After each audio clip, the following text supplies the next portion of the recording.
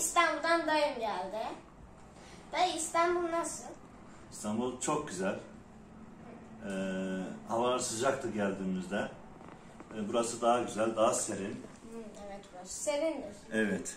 Ee, Peki ben senin Instagram'ını biliyorum ve 43 bin aboneye sahipsin. Evet, ben senin e, YouTube kanalını biliyorum. Çok güzel derslerini anlatıyorsun. Gezdiğin yerleri görüp anlatıyorsun. Hatta geçen hafta bir videomuz vardı. Evet, çok güzel e, videolar çekiyorsun. Ben de seni tebrik ediyorum. Seni e, sürekli merakla takip ediyorum ve merak ediyorum ki bir sonraki videosunda ne çekecek, ne yer alacak diye. Ben de onu merak ediyorum. Ben de seni tebrik ediyorum. Bu yaşında çok güzel işler yapıyorsun. Evet teşekkür ederim. Şimdi sen e, Instagram'da bu taşları alıp bunları çeviriyorsun. Evet. Şimdi bize taşlarla bir bilgi verir misin? Bu taş nedir?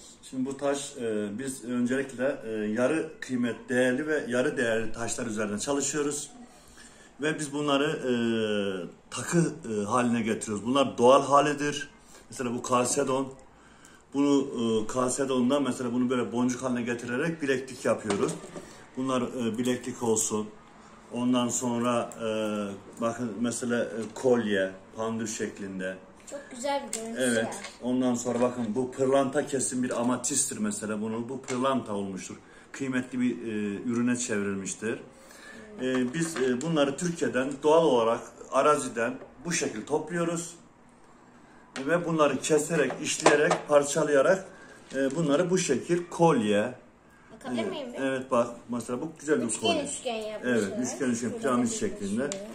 şuraya. E, bak bu da obsidyen. Obsidyen. Bu da kendi Türkiye'de çıkan e, Doğu Anadolu bölgesinde, Van ve Kars bölgesinde çıkan bir taştır. Ve bu kayaç halindedir. Bildiğin ham hali bu şekildir. Görüntüsü hiçbir şey yaramaz. Ama işlediğin zaman çok güzel bir mücevher olur bunlar. Aa, altı kırmızı, üstü beyaz. Tabii Nasıl farklı farklı renk? taşlar, farklı Değişikmiş renkler, bunun rengi. farklı renklerdir. Bunun üstüne sanki leke olmuş. Evet tabii bunun kabuk bağlamıştır o. Mineraldir bunlar zaten. Taşın yapısı mineraldir. Mavi kaseton demiştiniz ya. Evet. Normal kaseton da var değil mi? Tabii mesela kalsedonun e, mavi kalsedon, pembe kalsedon, mor kalsedon bizim Türkiye'de bunların hepsi çıkıyor. Mesela şimdi hangi bölgede hangi taş çıkıyor söyler misin?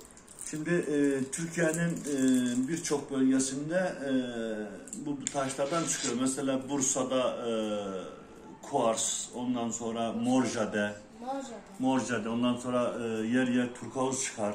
Ondan sonra Balıkesir'de amatist çıkar. E, kalsit kristalleri çıkar. E, Ankara bölgesinden akik e, ürünler çıkar. Burada açık Kütahya var mı? var. Mesela bu akiktir. Bu akikten bir kolyedir bu da. Şey bilekliktir. İçinde farklı Evet buna örümcek akik diyoruz buna. Örümcek e, desenler var bunda. E, mesela e, Kütahya bölgesinden opaller çıkar. E, Tokat, Yozgat bölgesinden fosiller çıkar. Ağaç, ağaç fosilleri çıkar. ağaç fosilleri bir taş değil.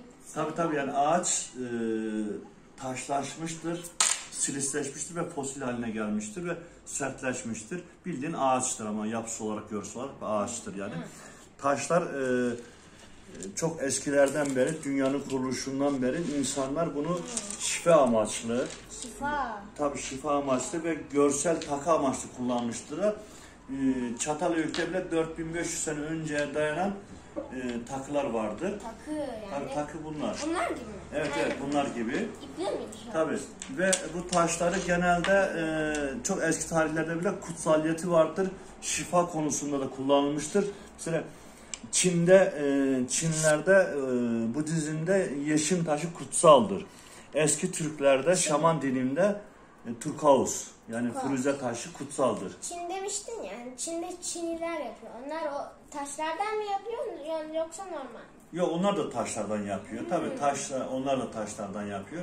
İşte herkes her kendi bölgesinde çıkan taşı alıyor. Şeklini vererek e, bundan takı Vazo. yapıyor. Tabii e, kutsal olarak bize bazıları şifa taş. Mesela açık taşı genelde e, e, nazara çok iyi geldiği söylenir. E, bunu Nazara? iyi geldiği söylenir. Hatta hadislerde bile Peygamber sallallahu aleyhi ve sellem bunu e, akik kullanın demiştir. E, strese, sıkıntıya iyi gelir e, bunlar. Ve her taşın kendine göre birçok özelliği vardır. Mesela önümüzde bir obsidyen vardır. Obsidyene genelde Türkiye'de ve dünyada da e, spa sektöründe tedavi amaçlı e, insanları tedavi ederler. Tedavi. Obsidyon Türkiye'de yapılar mı yoksa başka bir yerlerden mi geliyor? Yok, obsidyen kendi Türkiye'de bizim burada çıkıyor. E, Nerede? e, mesela Niğde ve e, Hasan Dağı'nda, ondan sonra e, Van Erciş'te, ondan sonra Bitlis e, Nemrut Dağı'nda, ondan sonra Ağrı Dağı'nın eteklerinde e, ve şeyde e, burada Türkiye'de çokça obsidyen bulunur. Obsidyon normal rengi siyah mıdır? Siyah vardır, kahverengi vardır, yer yer mavi, e, kırmızı, Mavi yeşil ama çok nadirdir onlar. Ama genelde Türk dünya genelinde siyah, e, kahverengi ve bunların tonları çıkar. Hani maviler nadir demiştin ya onlar değerli taşlara mı giriyor? E, tabii ki değerli taş, e, şimdi e, bu taşlarda renk ne kadar güzel olursa o kadar değerli, o kadar kıymetli olur. Genelde mavi taş her zaman için kıymetlidir. Bu da mı kıymetlisi? Tabii o da e, yani mavi açık her zaman e, kıymetlidir. Yani normalinden daha kıymetlidir, daha değerlidir. Bunun içinde sadece bir tane şey var o da yeşilimsi bir. Tabii doğal taş olduğu için bunun içinde her türlü e, şey olabilir. E, her türlü e, farklılıklar gösterebilir. Yani yapay değil ama doğal. Şimdi bunun içinde bu doğal bir.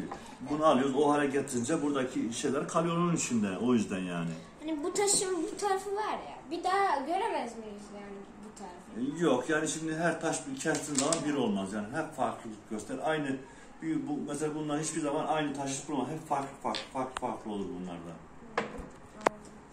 Önümüzdeki taşlar gibi.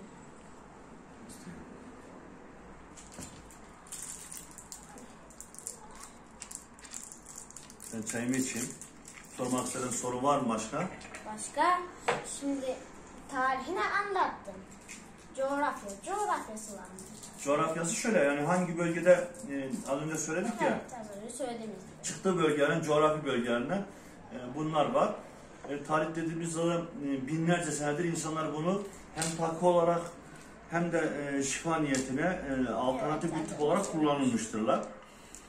Biz de bugün zaten bugün Türkiye'de e, kendi atölyemiz var bunları işliyoruz. Var. şey yaparız. Sen İstanbul'a geldiğin atölyeye gelirsin.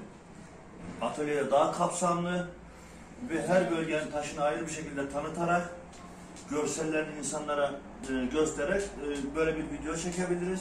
Ve şöyle bir şey yapalım.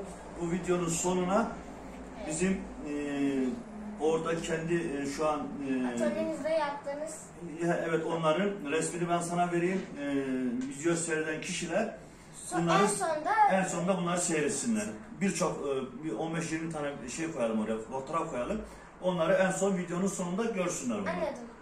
Teşekkür ederim. Ben teşekkür ederim. Taşlara bilgi verdiğin için. Görüşürüz arkadaşlar. İyi akşamlar. İyi akşamlar dedim ben.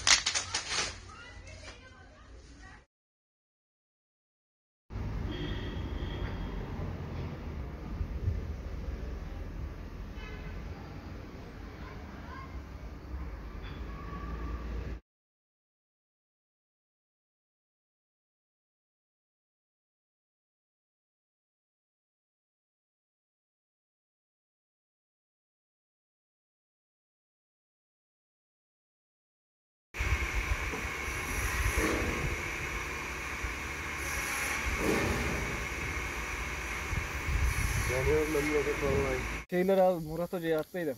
Hocam dedim Türkiye'de bunlar dedim adam inanmıyor. Türkiye'de diyor çıkmaz diyor yapısı yok diyor.